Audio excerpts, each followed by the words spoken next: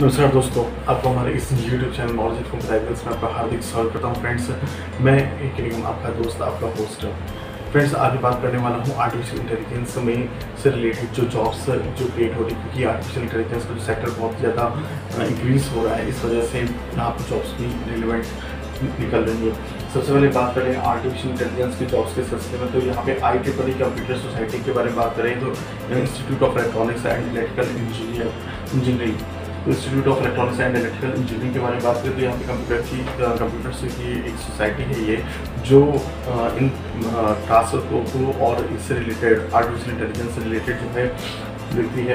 तो सबसे पहले बात करते हैं मशीन लर्निंग इंजीनियर्स के, जो बारे में जॉब्स के बारे में बात करें तो यहाँ पे मशीन के रिलेवेंट एक्टिविटी और टास्क के लिए कोडिंग के लिए मशीन लर्निंग इंजीनियर की ज़रूरत पड़ती है। बात करते हैं आर्टिफिशियल इंटेलिजेंस कॉन्सेप्ट से प्रोग्रामर डेवलपर के बारे में बात करें तो यहाँ पे जो आर्टिफिशियल इंटेलिजेंस जो कॉन्सेप्ट है, कौन सी कॉन्सेप्ट रिलेवेंट होती है, किस पर्टिकुलर टास्क के लिए वो डिसाइड करता है आर्टिफिशियल इंटेलिजेंस का कॉन्सेप्ट से डेवलपर रिसर्च एंड एनालिसिस से डेवलपर सब कोई भी प्रोग्रामिंग या कोडिंग करी जाती है तो उससे पहले उसका रिसर्च किया जाता है, उसको डेवलप किया जाता है देन उसको इम्प्लीमेंट किया जाता है। फिर बात करते हैं एल्गोरिथम इंजीनियर के बारे में और डीप लर्निंग इंजीनियर के बारे में।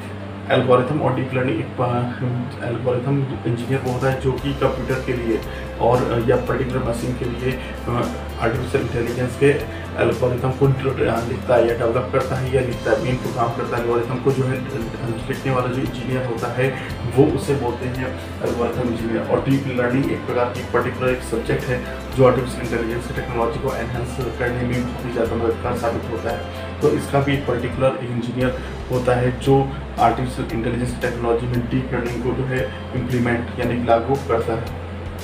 आर्टिफिशियल इंटेलिजेंस रिसर्च साइंटिस्ट यहाँ पे रिसर्च साइंटिस्ट की बहुत ज़्यादा ज़रूरत पड़ती है क्योंकि आर्टिफिशियल इंटेलिजेंस जो लर्निंग है वो वहाँ पे जो है जितनी भी रिसर्च हो चुकी है उसके बिहाव पे और पास्ट एक्सपेरिमेंट के बिहाव पे जो है लागू करता है उनके रिसर्च के रिसर्च साइंटिस्ट मतलब उस, उसके प्रोग्रामिंग को लागू करता है। फिर बात करते हैं सीनियर डेटा एनालिस्ट यहाँ पे जो डेटा साइंटिस्ट होता है, वो डिसाइड करता है कि तो सारी कोडिंग प्रोग्राम क्या इन्होंने सब वर्क कर लिया। लास्ट में जो चेक करता है वो डेटा साइंटिस्ट इनको चेक करता है, सब कुछ चेक करने के बाद तब वो प्रोग्राम को लागू किया जाता है। तो ये होते हैं आर्टिफिशियल इंटेलिजेंस रिलेवेंट जॉब्स जिसके लिए अच्छी खासी ज़रूरत पड़ती है।